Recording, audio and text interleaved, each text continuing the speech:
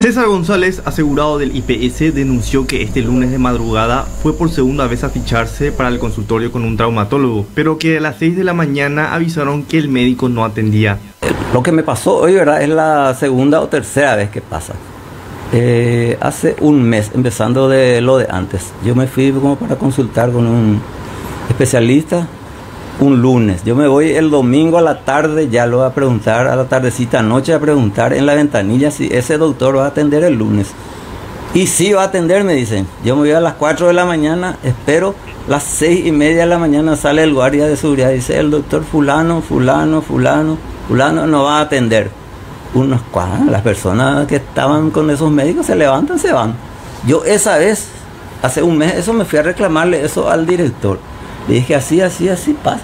No, le llamó al encargado de la ventanilla, de la ventanilla de atención al público, digamos, y ahí terminó, le dijo, así, así, me está pasando y así, así. Bueno, exactamente después de un mes fui otra vez hoy para consultar. Ayer a la tarde volví a irme para asegurarme en la ventanilla. Pregunté al doctor fulano va a atender, sí, mañana atiende. Bueno, a las 6 damos los números. Yo me fui a las 4. Espera hasta las seis y cuarto ahí y sale, me dice otra vez, el doctor fulano no va a atender. Era un traumatólogo, no va a atender. Así de simple sale. Y yo me fui a reclamarle otra vez, al, pero por lo menos a reclamarle al, al señor que está en la ventanilla. Y no sé, el director no tomó medida o no sé qué pasó. ¿eh? Y nada más de eso. Yo no tanto, ¿verdad? Mi queja pasa y pasa, pero esa pobre gente que viene del campo viene desde la una, hay gente que está esperando. Y viene a las seis y media te dice que no va a atender. Eso es una vergüenza. Falta de, no sé, falta de irresponsabilidad de no sé de quién. Empezando creo que allá de arriba.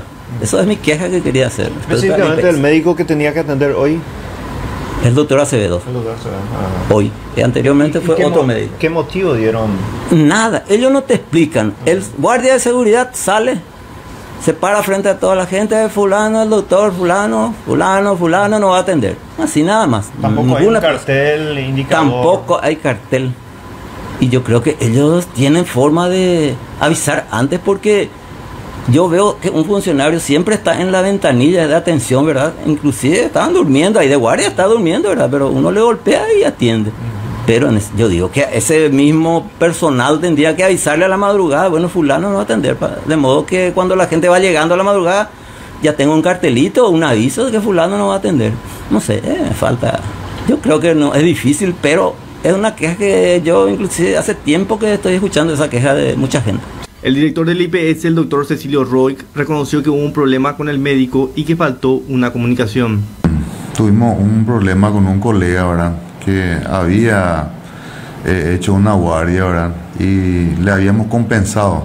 Entonces teníamos que suspender esto y tuvo una falla de comunicación realmente entre los compañeros. Tuvimos esa dificultad.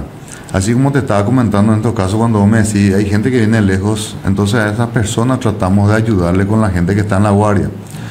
De hecho, específicamente en traumatología, nosotros por comentarte, son los médicos que están en la guardia lo que realizan los consultorios, ¿verdad? Por, la, por la alta demanda que tenemos y también eh, la falta de, de repente de, especialistas para consultorio, ¿verdad? Entonces estos colegas nos ayudan con los consultorios intraguaria. ¿verdad? Eh, sí, muchas veces también nos topamos con realidades que a la mañana de repente hay reposos o, o colegas ¿verdad? Que, que, están aquejados de salud, ¿verdad? Y eso no viene muchas veces contramano, así la gente viene temprano realmente a esperar. Pero tratamos de paliar también esas situaciones, ¿verdad? Con la gente que están en la guardia para darle prioridad de repente a esos pacientes que vienen de lejos. ¿Cómo se puede mejorar este sistema de comunicación con los pacientes, doctor? ¿Hay alguna estrategia? Sí, de, hecho, ¿verdad? Como te estaba diciendo, cuando tenemos bien eh, ya agendado estos tipos de situaciones, nosotros lo que hacemos es la gente que, el fichero que sale a las 6 de la mañana, el que se encargue ya a avisar. Incluso ahí tratamos de hacer avisos, ¿verdad? Para pegar por el vidrio para que los familiares o pacientes que vengan muy temprano también tengan esa información. ¿verdad? Eso estamos tratando de mejorar de esa forma también, Justiniano. ¿Hay algún número en el que los pacientes del, del, sector rural, por ejemplo, pueden comunicarse a preguntar si tal o cual médico va a atender, doctor?